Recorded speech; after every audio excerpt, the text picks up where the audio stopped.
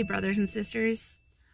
I'm just hanging out in my car here, and I had some thinkings, so I thought I would share some food for thought real quick. Please excuse my voice. I have been dealing with a cold for a few days, so anyway, here's what I've been thinking. And I hope to get you thinking about as well. Everybody knows about this this common sort of mantra that Jesus saved me just as I am. I know that that's one that I was used to hearing a lot, and you probably are too. And over the past year or so, as we've studied these things uh, in my church and just as I've read through the scriptures, I see it less and less. It's it's getting harder to prove that Jesus saved me just as I am. And so I want to talk about this because it brings me to the question of whether or not you've come to the beginning point of faith, the beginning point of true faith. See, because the reality is that Jesus died for me just as I am. That's true. This is why Jesus said, I will draw all men into myself. Paul said, I am crucified with Christ. Nevertheless, I live, yet not I, but Christ liveth in me. So the more we look into what it means that Jesus died for me, mm, there's a lot of false teaching out there that he was just the substitution for my death.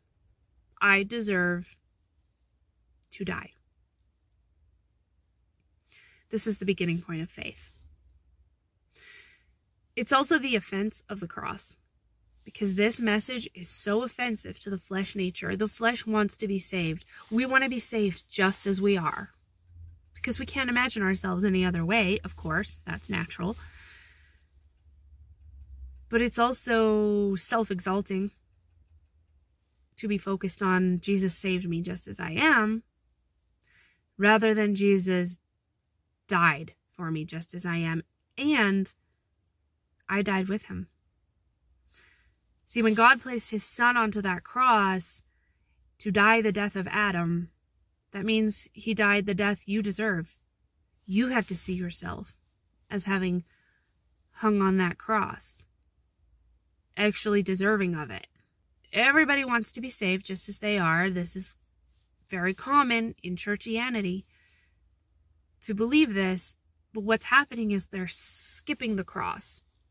They're skipping the necessary death that God designed. And and and they're entering in through another door. Jesus talked about this. It's basically cheating, gets you nowhere. It's not true faith because you're holding on to your your self-identity. Jesus saved me just as I am. No, he killed you.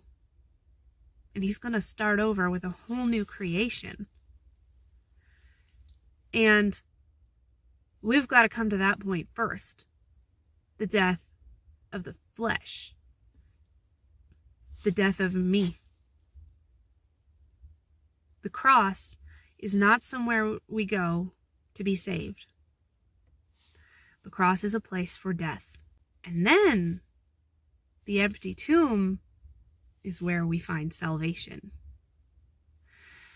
But this isn't really being taught in what I call churchianity. The resurrection is not being taught. All the focus is on heaven. I have another video about that, so whatever. But yeah, this this this is something that I thought, yeah, I gotta I gotta ask people this. Have you come to the beginning point of true faith? Have you been believing that Jesus saved you just as you are? Or do you realize that the wages of sin is death I I'm going to die. This body is going to die. And the natural mindset that I possess that is always fighting against the spirit that has to go. And that's why salvation comes after death. It's a whole new creation in Christ Jesus. That's what being born again is all about. We've received the spirit of adoption but we're not born again until we've been born into new bodies unto like unto Christ's glorious body. And we are saved now. We are saved from the second death, but your body's still going to die.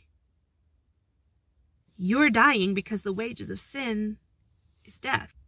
This is not popular. This is not the message that fills the seats in the churches because the churches today and increasingly so want to exalt the self. The scriptures tell us that the self needs to go.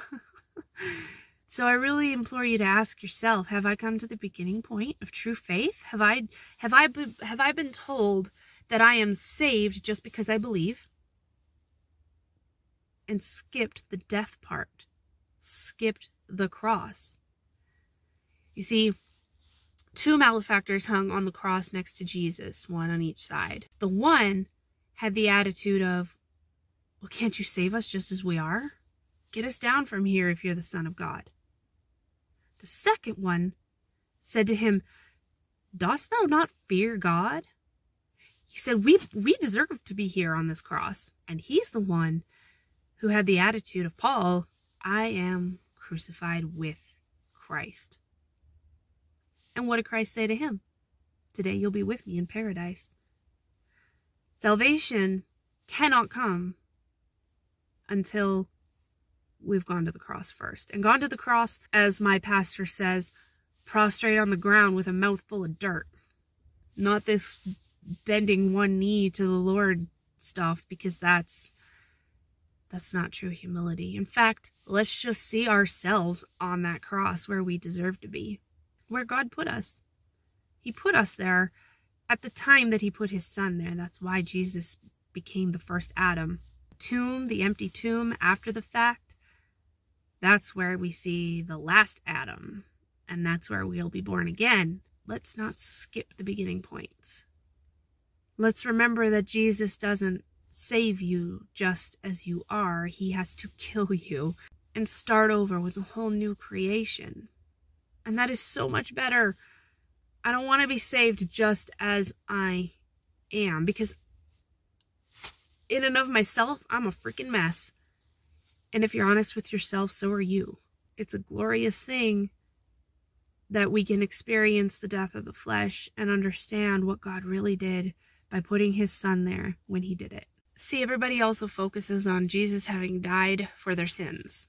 Well, he died for your sins in the fact that he died for your sin, your nature, your essence, what you are.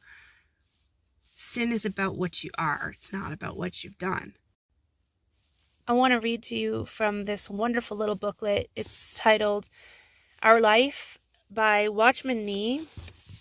Our inner eyes have to be opened.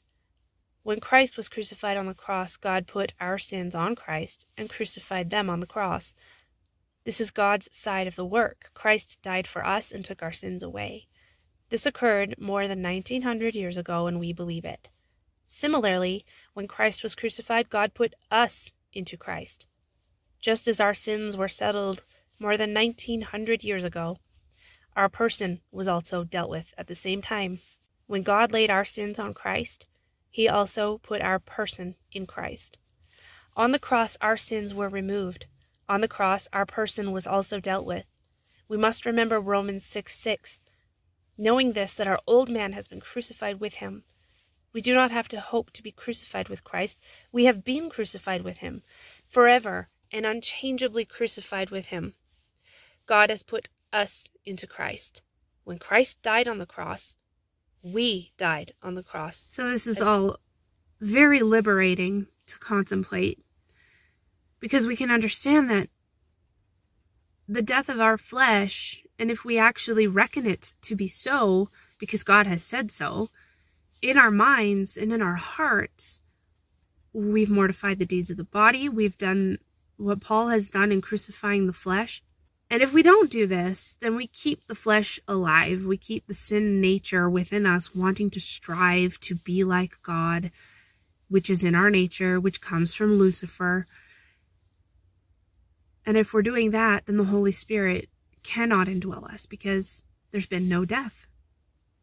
You see, the Holy Spirit will only indwell after there's been a death. And if you're thinking that God saved you just as you are, well, you were born in trespasses and sins. It's not worth saving. God will save your soul and your spirit, but the flesh nature needs to go. And if you believe what God has done, that he's killed Adam on the cross, then that means he's killed you on the cross. And so I pray that this gets you thinking and rejoicing because wanting to be saved just as you are, that leaves a lot of room for legalism, for the flesh nature to want to try to figure out how to please God rather than rest knowing that the Holy Spirit in you will please God. That's all He can do. And you can just rejoice in what has, God has done. So ask yourself Have I come to the beginning point of true faith? Or am I wanting to be saved just as I am? This is a great thing to ponder. And so I had to share it with you. And I hope that it has edified you. And if your church is teaching these things, please let me know below because it's very refreshing. It's so refreshing to find out when the truth of God is being is being taught and uh, it's going to be more and more of a rare thing as time progresses. We know that. So, anyway, take care. I wish you the joy of the Spirit. Peace.